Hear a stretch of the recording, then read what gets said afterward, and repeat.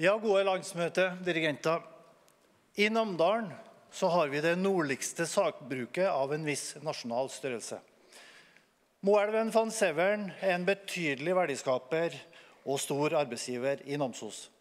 Historia knytta til tømmerfløtinga i Namsenvassdraget ned mot Namsens Os er bærebjelken i vår stolte namdalske historie. I dag så kommer tømmeret med bil fra regionen og sjøveien fra andre deler av landet. Omkring en fjerdedel av råstoffet til sagbruket Moelven van Severen i Namsos kommer fra Nordland.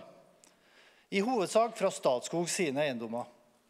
I vinter så ble Statskog varsla om at omkring 80 000 mål på deres eiendommer var tenkt verna, og skogsmaskiner som sto klar for å ta ut 18 000 kubikk, måtte stoppes umiddelbart.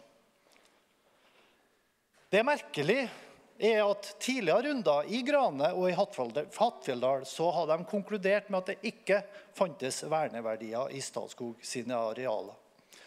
Landsmøtet, jeg er ikke motstander av skogvern, men vi må klare å ha to tanker i hodet samtidig.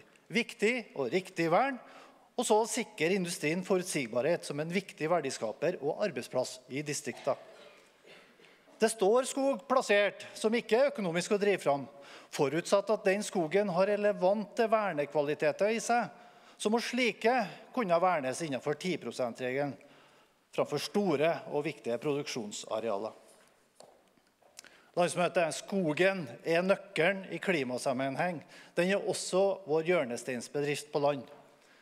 Derfor har vi ulike prosjekter, også finansiert med offentlige midler, der mange flinke skogeiere øker sin aktivitet i skogen.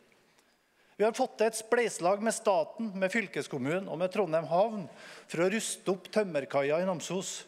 Vi har tro på enda flere grep som skal styrke foredlingsindustrien med å fjerne flaskehalsene mellom stubben og saga.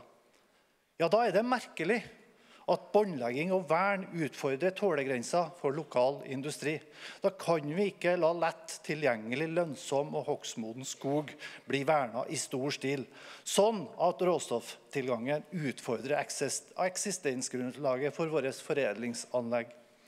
Skal vi klare å øke engasjementet om skogbruk og industri, så må skogvern fokusere på vern av naturtyper og artsmangfold, og ikke arealvern.